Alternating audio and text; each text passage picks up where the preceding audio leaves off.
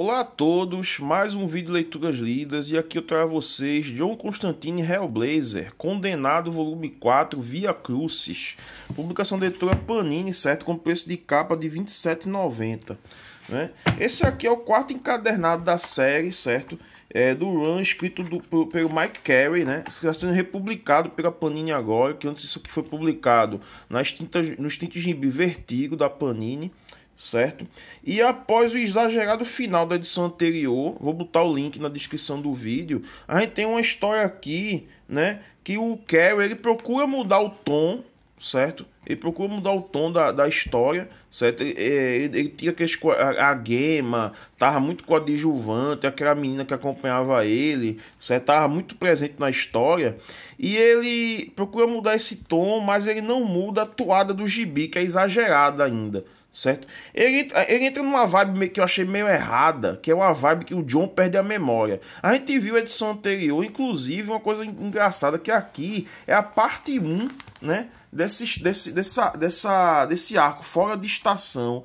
Mas, pô, o outro, o outra edição já, tá, já tava com, a memória perdida devido aos eventos da, da, do arco anterior, né? Que o, o John Constantine é, é, é, enfrenta uns demônios aí, solta, é, vai no inferno e tudo, né? Uma coisa bem, bem Hellboy mesmo, certo?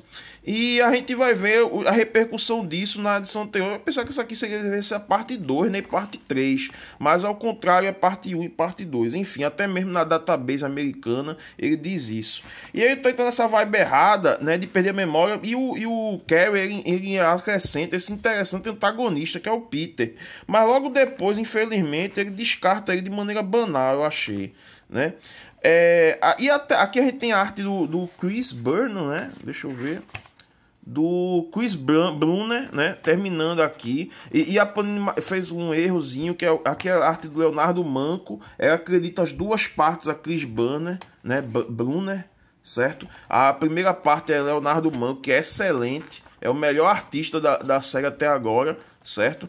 E você vai ver que até mesmo a arte do Marcelo Fruzin, que estava um pouco cansada, né? É, é, ele, ele, ele tava cansando a série porque a arte dele, ao meu ver, não combina muito com as histórias do Constantino. A do Leonardo Manco casou perfeitamente. Então até mesmo o Gibi dá uma descansada da arte dele, certo? Deixa ele desenhando somente três, três edições, né? De um arco até meio bobildo, né?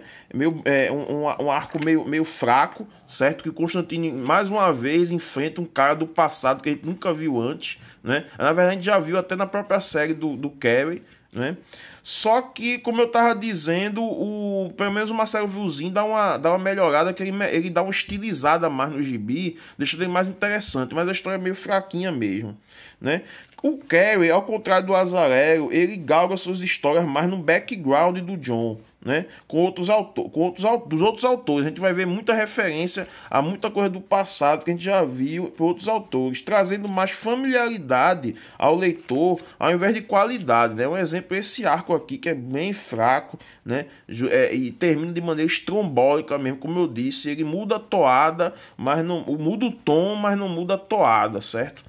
Mas ele vai surpreender, porque ao final do gibi, a gente tem a edição especial americana número 200, onde o Carey, ele entrega algo interessante, não vou dizer exatamente o que é para não estragar, ele entrega algo interessante que pode abrir novos caminhos para as histórias do John, que estava ficando tão ficando repetitivas, né? Esse negócio de enfrentar demônios, de impedir que aconteça alguma coisa, que só ele sabe, mas ninguém, né? O negócio tava meio, meio repetitivo e aqui abriu outros caminhos bem interessantes. Espero que o Carey tenha sucesso, né? Para fazer essa história ficar realmente boa, né? As artes estão boas, né? O Marcelo Fruzinho, não é que eu não goste dele, é um ótimo artista, mas eu acho que não combina muito, né? Esse estilo, ele tá mais estilizado aqui, que tá muito bom. A gente tem a arte do saudoso Steve Dillon aqui no começo, justamente para poder trazer aquela familiaridade ao leitor que eu comentei antes, né? E termina com um excelente Leonardo Manco, que puta que pariu, o cara é fera mesmo, né? Ele dá o estilo certo ao gibi, que é o estilo